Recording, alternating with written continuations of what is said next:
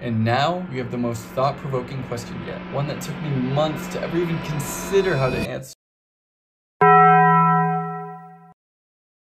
Hey, what's up everybody? Today we're going to be reading your engineering questions, exploring the best parts of a few engineering fields, figuring out what actual jobs you can get with these degrees, where and how to land internships, and a ton of other debauchery. So in case you don't know me, I'm Joe. I've been through community college, got my bachelor's in electrical engineering. I was a lab technician for a year, physics and electrical engineering tutor for over two years, was a president of the CubeSat academic club at my school, and now have been a radio frequency engineer for almost two years. So all these questions that I'm about to answer have come from my main channel, Engineering Insiders. But if you have any questions of your own, make sure to just drop them in the comment. I'll try to answer them there or make another video like this one if you like it. Now, without further ado, let's get right into it. Can you please do a comparison between computer mechatronics? Also, can computer engineering get in robotics field in terms of designing robots? So computer engineering, you're going to use the circuitry and programming to accomplish things like designing little robots, designing little computers, designing hardware for computers. And mechatronics does cover those two areas, of electrical and software, but they also throw mechanical into the mix.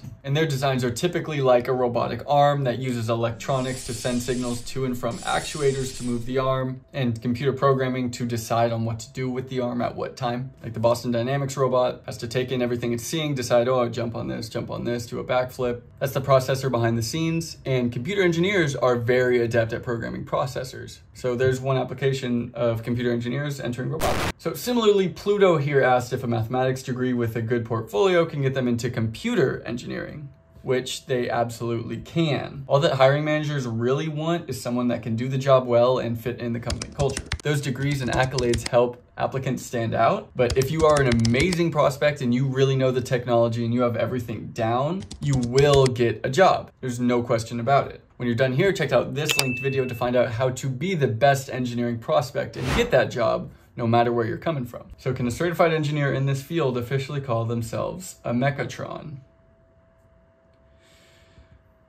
Yes.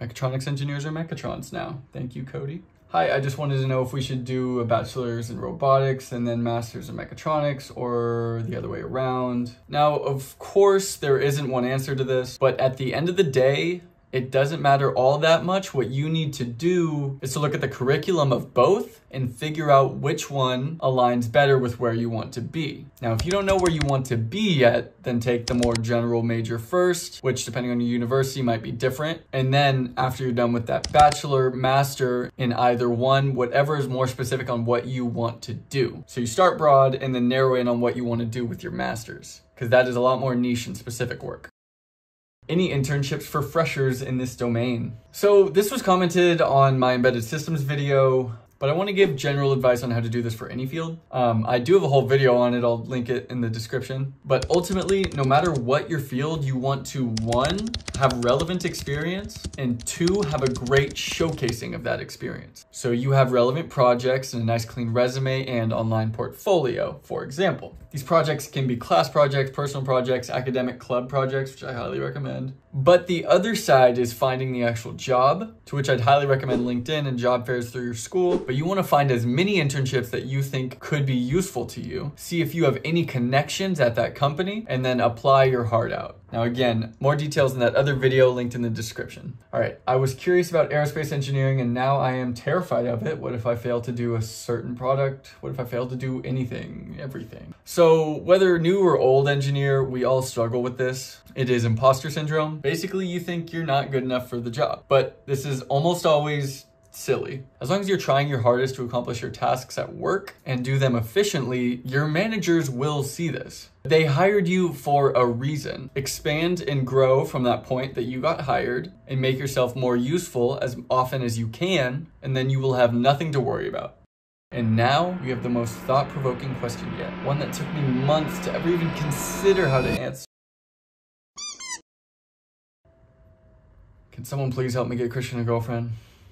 No, but jokes aside, this is a funny comment on my aerospace video. Please go like his comment to support our homie. But I will talk for a second about having a romantic partner during an engineering degree. It is tough. Now, if you had a pie chart of life, I'd say the engineering degree is going to take up anywhere between 25 and 75% of your waking hours and energy. Some days you can get away with doing nothing, and some days you got to work from dawn to dusk and sleep in the lab. So it really comes down to how you want to spend your time. If you're a diehard like drone racer and love playing video games and hanging out with your friends, that's fine, you can do all that, but you probably won't have the time for a partner. On the other side of things, a partner can really help you through your engineering degree. My girlfriend would be kind enough to come cook for me when I had those really busy engineering days, which was a huge help. So ultimately, how you spend your time is up to you. But if you're in the degree, I highly recommend highly prioritizing it because you're spending a lot of time and money towards it. Now, the final question I have today is for you. What engineering field do you want to get into? If you're still considering, this video outlines all of the biggest engineering fields, what they do, and their salaries. So go check it out or forever be cursed with not knowing who makes the most money. Now, thanks for watching and happy engineering, everybody.